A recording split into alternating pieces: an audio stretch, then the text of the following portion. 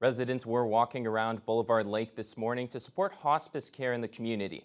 The Hike for Hospice Walk is Hospice Northwest's largest fundraiser and supports the various services it offers. Jessica Clement reports.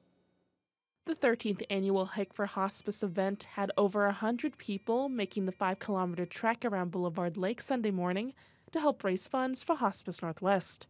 This year's theme was Hike, Support, Remember, and participants had the chance to take part in remembrance ceremonies during the walk. Every hiker is given a flower so they can uh, cast that on the water if they want to in memory of a loved one they've lost. They'll also be given a ribbon. They can write the name of someone that they've lost and, and are missing and tie it to the uh, butterfly memorial wall uh, at Adelaide Street. Hospice Northwest's new executive director, Donna Jean Pierre, says Hike for Hospice is their biggest fundraiser, and their goal for 2024 is $50,000.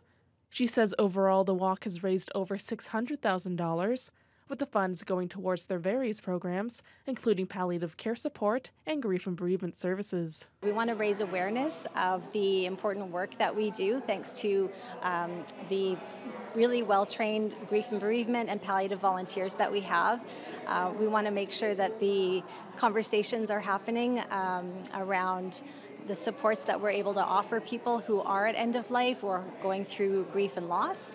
Um, and we also just really want to raise the, the funds that we need to keep that support going in our community. This year, attendees had the chance to hear from the Binch family, who shared the story of the sudden loss of their child and their experience with Hospice Northwest. After we lost Fletcher, we knew we needed to get help, but we weren't really sure where to reach out to, and Hospice Northwest was a really great support for us.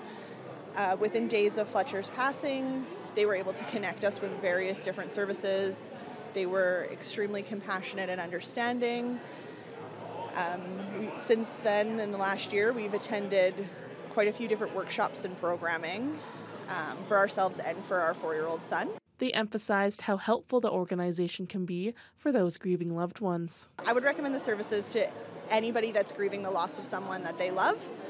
Some of the services we have attended have been really specific to a certain population, such as like bereaved parent workshops.